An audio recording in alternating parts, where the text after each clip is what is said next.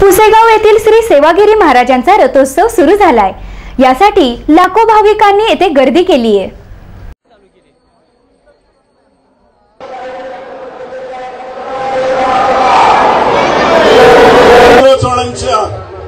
स्वर्गीय वसंतदानाचा मूळचा सातारा जिल्हा म्हणतो त्याची परंपरा आपण राखली पाहिजे.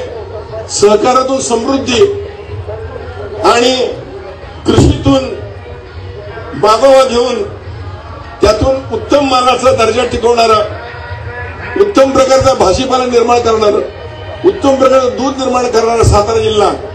आणि सुदैवानं विजयरावांच्या प्रयत्नातून जर हा विमानतळ लवकरात लवकर मार्गी लागला तर आमचे पदार्थ हे विमानाने परदेशी सुद्धा जातील.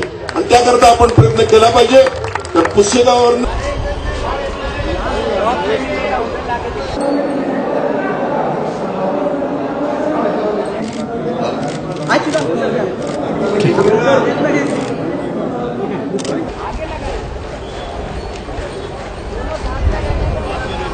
आहे, असं सगळ्यांचं मत आहे. परंतु मान खटाव तालुका पाहिला तर आजही दुष्काळाच्या छायामध्ये आपण वावरतोय.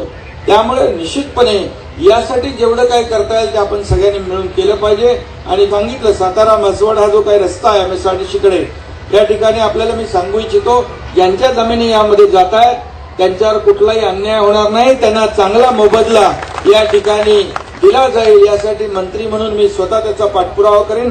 त्यामध्ये कुठलीही कसर ठेवणार नाही. आणि आमची दिल्लीला. आणि पश्चिम विदर्भ आणि मराठवाड्याचं जसं पॅकेज घेतलं त्यात पश्चिम महाराष्ट्रातले सर्व दुष्काळी तालुके घेतले. आणि त्यांना देखील पैसा आम्ही सर्वात जास्त मंजूर करण्याची भूमिका घेतलेली आहे.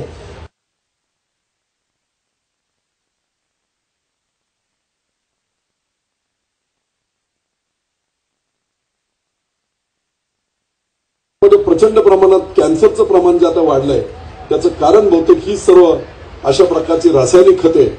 आणि शेतकऱ्यांचा खत तो पेरू एवढा मोठा आहे की सीताफळ मोठा आहे.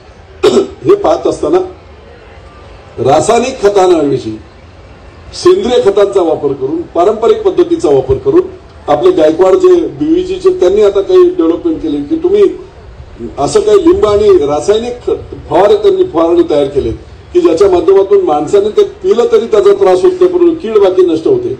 अशा प्रकारची नवीन टेक्नॉलॉजी असेल किंवा आपली परंपरागत टेक्नॉलॉजी असेल त्याचा चांगल्या प्रकारे वापर करून आपण पुढे जाऊ अशा प्रकारे